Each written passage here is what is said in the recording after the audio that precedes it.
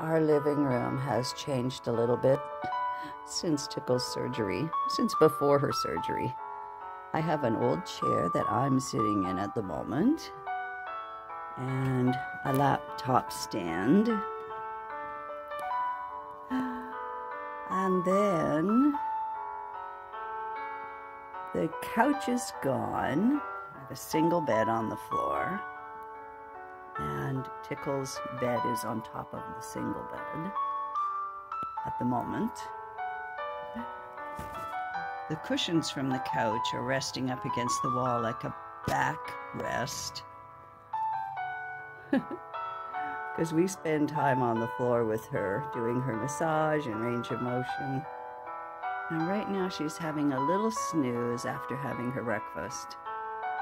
So that Got a view of the TV, and Dennis sits over there. so baby gates are up. She's confined to this room because it has carpeting and none of the rest of the house does. Some dogs spend most of their recovery in a crate. And I'm very, very happy that our veterinarian told us not to crate her.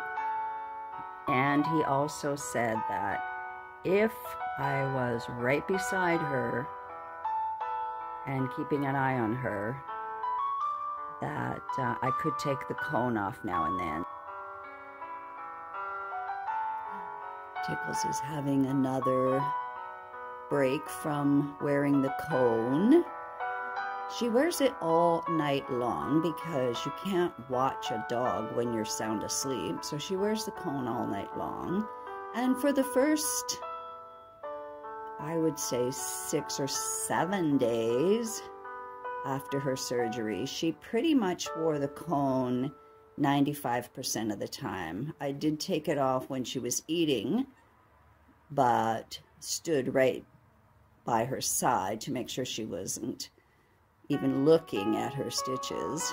Um, and now she's getting longer breaks without the cone, but I stay right by her side. I am within grabbing distance if she even looks at the stitches, but she's not. She's not, she's completely ignoring the site of the incision, which is fantastic, and it's looking really good.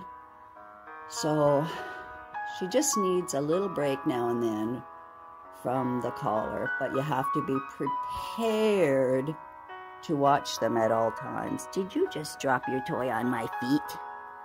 Yes.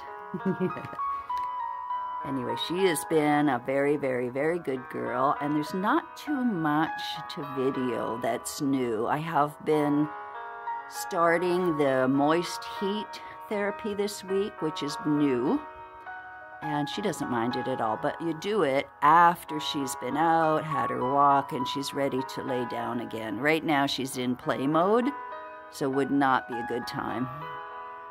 Yes.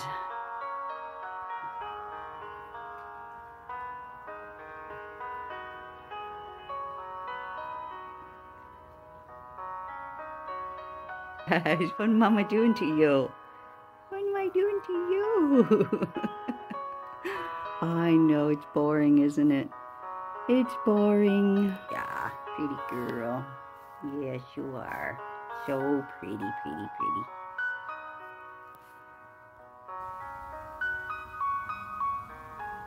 I wanted to demonstrate how difficult it is for me to get up when I'm on the floor. Oh my goodness, it's a big production because my knees just don't work. I have to kind of hoist myself onto one arm. Yes. it's hard. Baby girl is getting one of her heat therapy treatments underneath her blanket. I have a damp cloth and a hot pack. One of those ones you heat up in the microwave that are filled with rice or wheat or I don't know what they're filled with. But it's warming up her joints. She doesn't seem to mind.